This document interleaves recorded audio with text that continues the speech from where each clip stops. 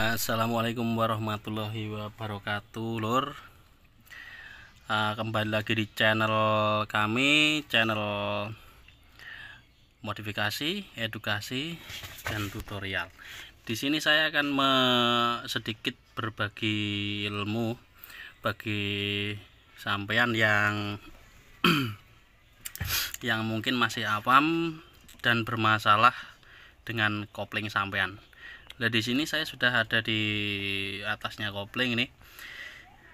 Jadi eh, kopling sering bermasalah eh, jika dimasukkan gigi itu alot. Nah, contohnya seperti ini nih. Nah, cara perbaikan caranya gampang sekali ini.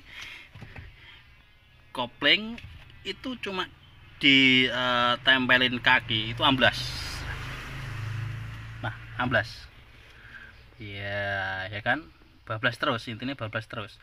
Gak nyantol. Harus mumpah seperti ini. Ini pasti akan bermasalah di jalan kalau kopling sudah seperti ini. Nah kalau dipompang aman. Nah berat.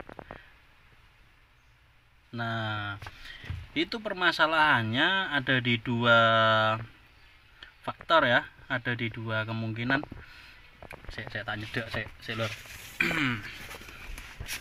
aduh. Nah itu permasalahannya mungkin ada di as ya. As. Tak nyedek.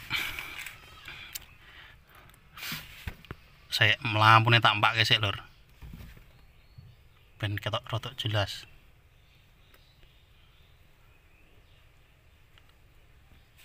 Nah gini gini. Nah. Ini namanya apa ya? Aku naik ngaran iki hmm, kelep lah ngono ya ta. Kelep apa mundur ya. Nah jadi ini tuh sudah haus sudah waktunya ganti ya. Ini nggak bisa di repaint. Karena uh, penyakitnya ini kopling uh, bablas. Tapi oli nggak bocor. Nah tapi oli nggak bocor itu permasalahannya 100% di sini nih. Tapi kalau kemungkinan kalau oli bocor itu di uh, master bawah. Ya deket transmisi sana. Nah ini cara